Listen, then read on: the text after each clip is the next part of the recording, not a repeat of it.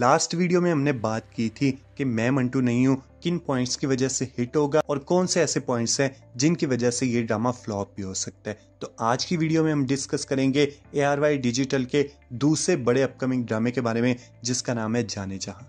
तो अगर आप मेरे चैनल पर पहली दफ़ा आए हैं या पहले भी आते हैं और चैनल को सब्सक्राइब नहीं किया तो काइंडली इसे सब्सक्राइब कर दें और वीडियो को लाइक कर दें, ताकि आपको मजीद इस की अच्छी अच्छी वीडियोस देखने को मिलती रहे।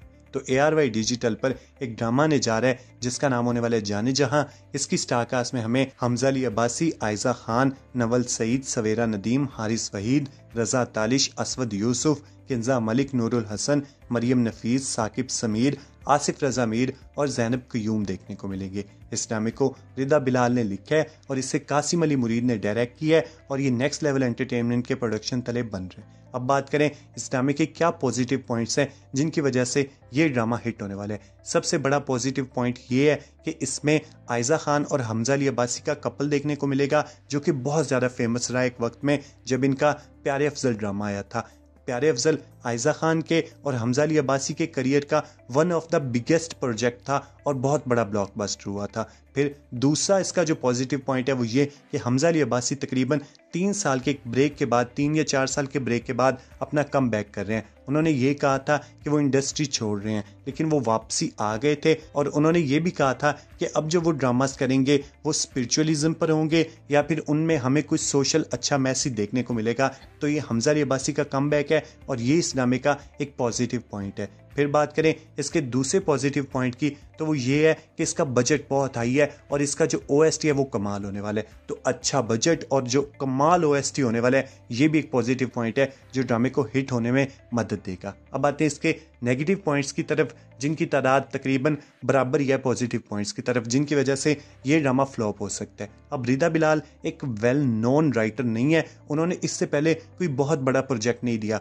खुद गर्ज और जख्म जैसे एक ठीक ठाक से आम एवरेज से ड्रामे दिए हैं तो उन्होंने कोई बड़ा प्रोजेक्ट नहीं दिया तो हम उन पर मतलब ये बिल्कुल अंधा एतमाद नहीं कर सकते कि वो कुछ यूनिक या अच्छा देंगी। तो ये एक तरह का गैम्बल है कि या तो वो मतलब अच्छा प्रोजेक्ट दे भी सकती हैं, ज़्यादा चांसेस है कि उनकी राइटिंग जो है, वो थोड़ी वीक होने वाली है। तो इसलिए जो राइटर हैं, वो कोई वेल नोन राइटर नहीं है तो इसलिए शायद इसकी राइटिंग जो है, वो इतनी अच्छी ना हो। फिर राइटिंग के बारे में बात करें तो आपको पता है कि अलिफ जो था, वो बहुत ही डीप लेयर्ड और स्पिरिचुअलिज्म पर बेस्ड जो एक ड्रामा था, जिस वजह से थोड़ा स्लो पेस था और ऑडियंस कनेक्ट नहीं हुई। फिर एहसन खान, कुबरा, सजल और हमजा, इन बड़े एक्टर्स होने के बावजूद वो ड्रामा जो टीआरपी और जो फेम वो डिजर्व करता था, वो उससे नहीं मिली और इसलिए हम उसे एक एवरेज या एक फ्लॉप ड्रामा कंसीडर करेंगे। और अगर हमें वही स्लो पेस्ड स्टोरी और हमें वही स्पिरिचुअलिज्म देखने को मिला और ऑडियंस इसके साथ कनेक्ट ना हुई तो ये ड्रामा फ्लॉप भी हो सकता है। अब बात करें इसके तीसरे नेगेटिव पॉइंट की